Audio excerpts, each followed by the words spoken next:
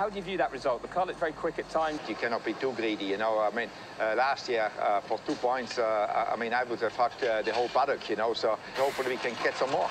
I'm sure America doesn't mind, but I'll apologise for the language. Good to thank you very much and well done. Thank you. What language did I use? I don't know, I didn't hear. Did you drop an F-bomb? No, no. Did you say you would do to the whole paddock? Hug them. Ah!